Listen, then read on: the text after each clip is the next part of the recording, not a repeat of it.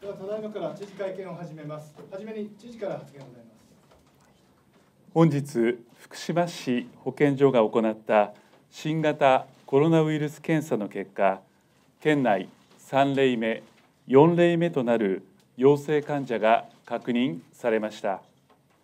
この3例目4例目は現時点で感染経路が明らかではありません患者の概要ですが3例目の患者は70代の男性で福島市に居住しています。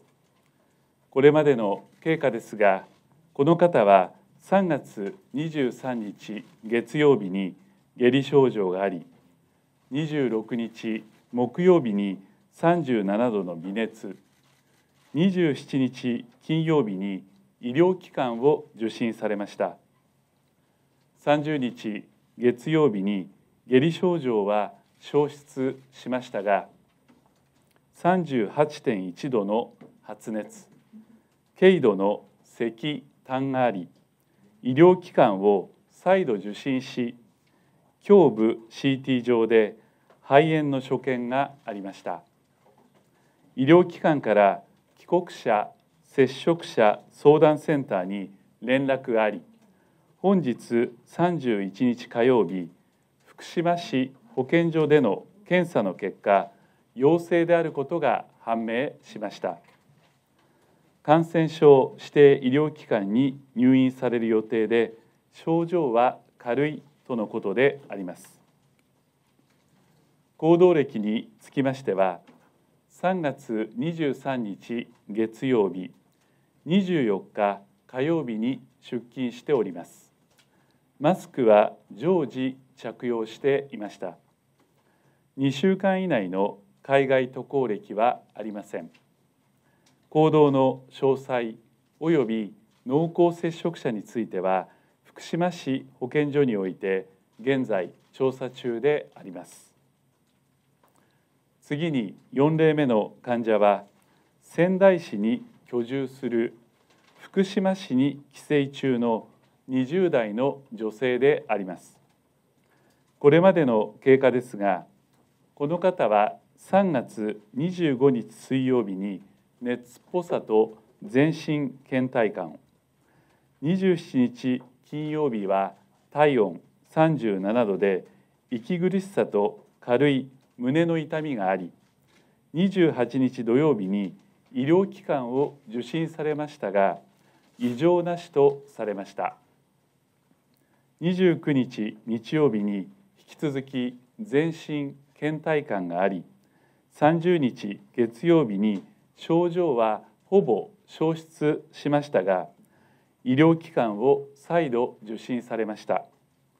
医療機関から帰国者接触者相談センターに連絡があり31日火曜日福島市保健所での検査の結果陽性であることが判明しました。感染症指定医療機関に入院予定であり症状は軽いとのことであります。行動歴につきましては3月23日月曜日に東京を訪問しております。海外渡航歴はありません。行動の詳細及び濃厚接触者については福島市保健所において現在調査中であります。次は県民の皆さんへのメッセージであります。新型コロナウイルス感染症は国内のみならず世界各地で猛威を振るっており本県でも3例目4例目となる患者が発生しました。現在県では福島市保健所をはじめ関係機関と連携をしながら感染経路の把握や濃厚接触者の確認など疫学調査を進めております。県民の皆様には正確な情報に基づいて冷静に行動していただくようお願いをいたします。これまでと同様咳エチケットや手洗いの励行をはじめとした感染症予防を徹底するとともに発熱等の風邪症状が見られる場合には外出を自粛するほか改めて密閉密集密接の3つの密が重なる場所を避けていただく行動。特に感染の発見が難しいとされる若年層の皆さんも含め慎重な行動。人混みへの不要不急の外出の自粛イベントなどへの参加の自粛についてご協力をお願いをいたします。風邪の症状や37.5度以上の発熱が4日以上続いている方強いだるさや息苦しさがある方また海外から帰国された方で発熱などの症状のある方は最寄りの保健所の帰国者接触者相談センターにご相談ください。県では今後とも検査体制の強化や医療提供体制の確保に取り組んでまいります。引き続き国市町村さまざまな関係機関と連携をし県民の皆様の安全を最優先に考えた対策を迅速的確に進めてまいります。県民の皆様のご協力をよろしくお願いをいたします。次に報道機関の皆様にお願いをいたします。県は相談体制を拡充し県民の不安に応える体制を強化するほか正確で迅速な情報発信に努めてまいります。県民への正確な情報提供に皆さんのご協力をお願いをいたします。また感染者や家族周辺の方のプライバシーにもぜひご配慮をお願いいたします。私からの発表は以上であります。それではご質問を受けしたいと思います。えーご質問のある方は挙手の上社名とお名前をおっしゃってからお願いします福島放送の笹です。はい。すみません。あの恐れていた市中感染の可能性なのかなと思うんですが、あまずその知事の受け止めとですね、あの20代の女性に関しては今23日に東京に行かれたということで行動歴などは分かっているのか教えてください。はい。えーまず今回3例目4例目はこれまでの2例とは異なるというふうに受け止めております。1例目の方はダイヤモンド・プリンセス号に乗船をされていた方でありました。2例目の方はエジプトに旅行されナイル川クルーズ船に乗船をされていました。これらはいずれも感染経路が特定しやすい事例でございましたが今回の3例目4例目は現時点で感染経路が明らかではありません。今後福島市保健所等と連携をしながら積極的な疫学調査を進めてまいります。そして4例目の女性の方につきましては東京における行動歴を現在確認中でございます。ありがとうございますその他ございますでしょうかあいや一番後ろ NHK さん。NHK 林です。はい。あの4例目の女性なんですが、はい。えー、と電車で実家に帰省したのが25日で同じ日に倦怠感があったということなんですけどこれやっぱり体調が悪くて帰省したと捉えればいいんですか？それとも例えば学生とかでですね、まあ卒業したから自宅実家に帰ったのかその辺をお願いします。はい、あのまだ詳細なところは確認はされきっておりませんがあの体調のこともあって帰省をされたのかなと受け止めております。もう一点3例目の方なんですが、えっ、とえっ、と年代は70代ということですが、まあ出勤となってます。はい、会社を経営されている方なのか、もしくは公職に就かれている方なのか、お願いします。えー70代の方は会社員であります。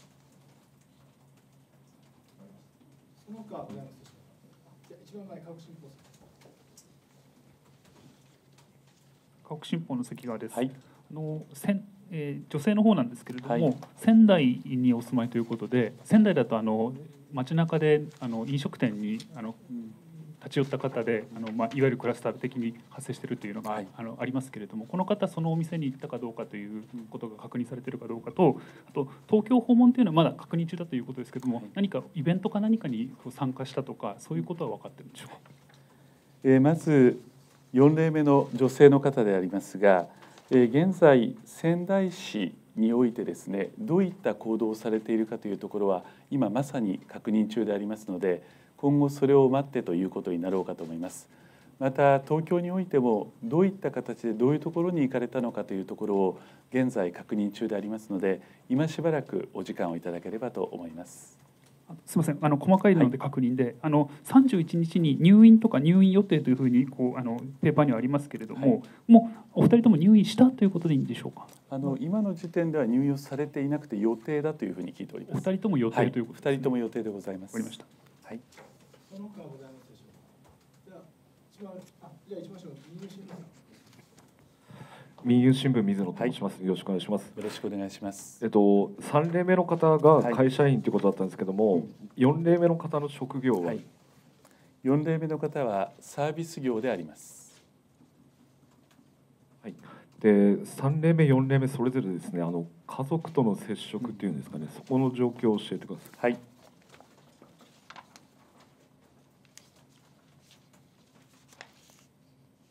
えーまず3例目の方でありますが同居されている家族はおられます。同居家族を含めて現在濃厚接触者について福島市保健所で調査をしているところであります。続きまして4例目であります。4例目の方は同居家族を含めて濃厚接触者について現在調査中でございます。あの追加でなんですが、はい。あの今回の3例目、4例目の発生に伴って、あの明日からあの学校再開するという予定でしたが、そのあたりの変更といいますか、所感というのはどのような、えー現時点においては学校の方向性について変わっているわけではありません。ただやはり1例目2例目とは異なる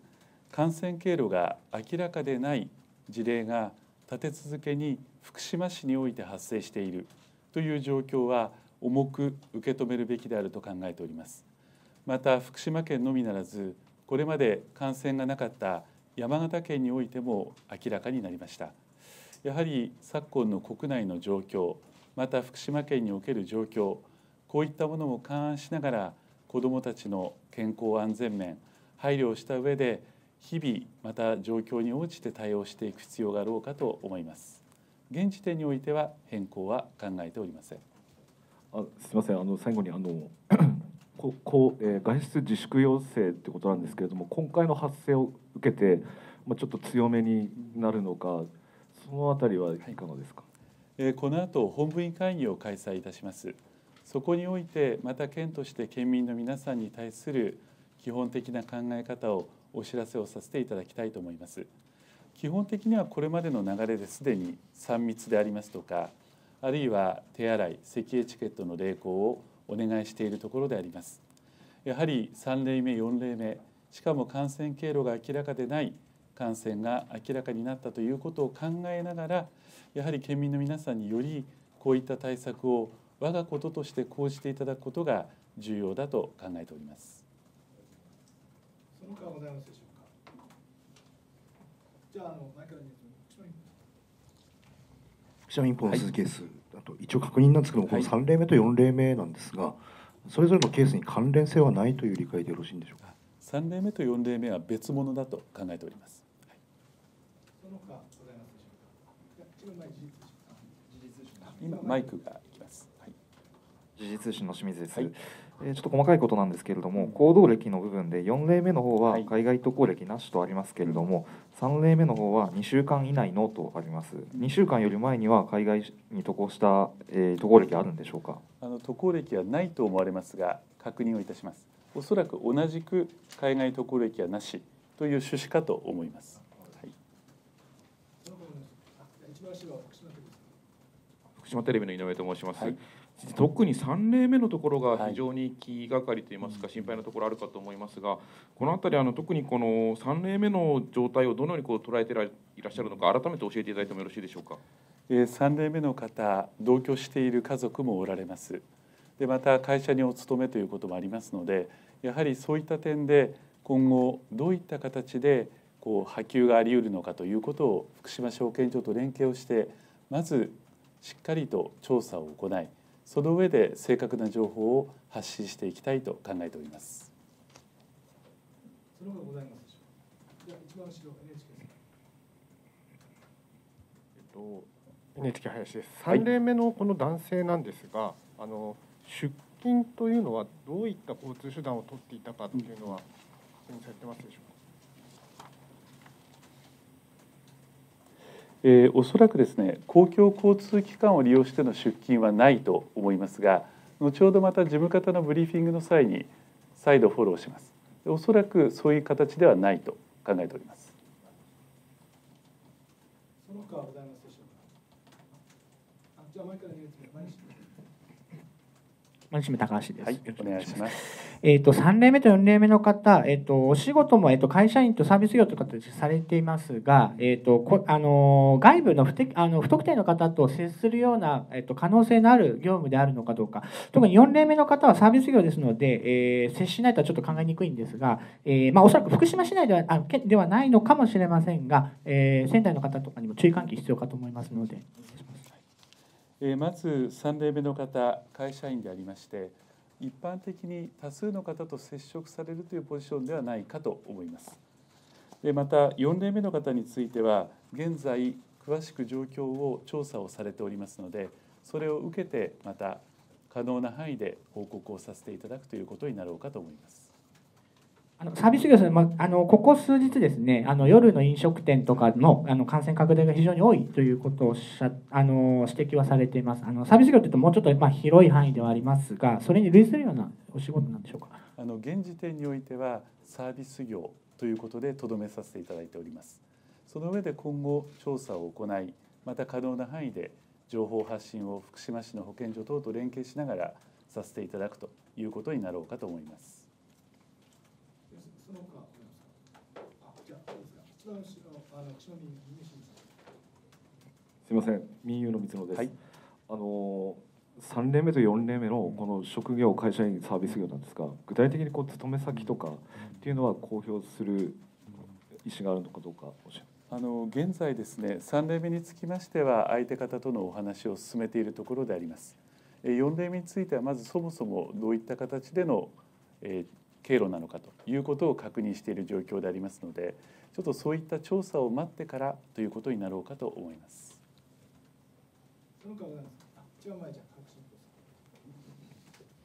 各新報の関川です。それぞれ3例目と4例目の同居同居家族はあありということでしたけれども、あのまあそれぞれ今な何人ずつなのかっていうのは分かる範囲で。あのその点今まさに調査中でありますがこの後またブリーフィングをさせていただきますのでその頃まである程度お示しできるかと思いますあとあのすみません。学校再開なんですけれども、あのまあ1例目2例目とはまた違うような状況になってただ今知事はあの現時点で変更の予定はないというお話でしたけれどもそうするとあの、まあ、今後どういう状況になるとあの対応が変わるのかなというところについてはどのようなお考えでしょうか？えーまず文部科学大臣の方から学校再開についての基本的な方針がすでに示されております。それにのっとって福島県教育委員会として4月からの学校再開に向け今準備を整えておられるところだと思いますで福島県において2例目から今回4例目までということになりました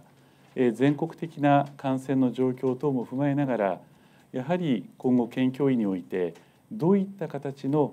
子どもたちの対応がいいのかということを今まさに真剣に検討していただいていると思います。で現時点においては方向性は変わっていないということで伺っております。よろしいでしょうか。じゃあ前から2列目。はい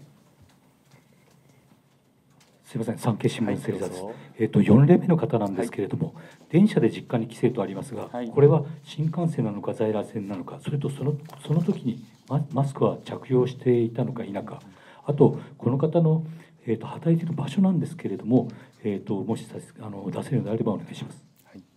えーまずこの方がですね帰省をされた場合の公共交通機関を使っているというところまで現時点で申し上げます。その上での詳しい情報については現在調査中ですのでしばらくお時間をいただきたいと思います。またあのサービス業についての具体的な内容ということになりますがこれについては先ほどと同じようにもうしばらく調査の時間をいただければと思います。の他はございますでしょうか？あ、じゃあ、週刊2列目。読売新聞。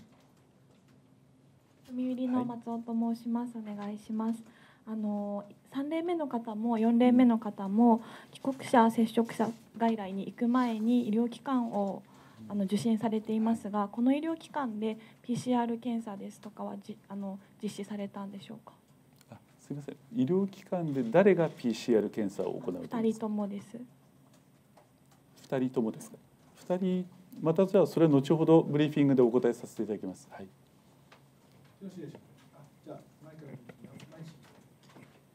すみません。あ、毎日高橋です。はいこのちょっと現時点でのあの範囲でしかお答えいただけないことは承知の上でですが、えっ、とお二人の周辺、えっ、と三人目の方の場合はご家族とあと職場ということになるかと思いますし、えっ、と四人目の場合も多分ご家族ぐらいしか難しいでしょうけれども、周辺に体調不良の方はいらっしゃらないのかっていう現時点でどうでしょう？か。あの現在疫学的調査を行っておりますのでそういったことも含めて我々は把握していきたいと考えております。ああとあの先ほどあの PCR 検査の話なんですがあの2例とも福島市の保健所で行っておりますので病院ではないと思います。よろしいでしょうか？はい。じゃあ一番後ろあまずあの最初 KFB さんも質問されてたんです今回特に3例目なんですが福島県内でも市中感染っていう可能性、まあ、現時点で可能性としか言えないとは思うんですけど、どについてはどのように捉えられているかっていう点ともう一点ちょっと細かいんですけど3例目の男性の職場っていうのは福島市でよいのかあと4例目の方は、まあ、仙台かどうかわかんないですけど県外にお勤めっていうことでよろしいでしょうか。えまずですね感染経路が明らかでない、えー確認がなされたということを重く受け止めております。やはりこれまでの1例目2例目とは異なるフェーズに入っているなということを実感をしております。で今日のこの会見もそうですがやはり具体的なお話が現時点でできない状況にありますのでやはり積極的な疫学調査を丁寧に行ってその上でまた情報発信をしていく必要があろうかと思います。でそういう意味でもやはりこういった案件が出た場合に関連であるまさに福島市と連携をしてまた今回の場合仙台市との連携も実はございます。えーそういった関係機関とできるだけ速やかに連携をしながらでき出せる情報を出していくことの重要性というものを感じているところでございます。また3例目4例目の職場環境につきましては後ほどブリーフィングでお話をさせていただきます。よろしいでしょうか。では以上でえー会見終了いたします。ありがとうございました。ありがとうございました。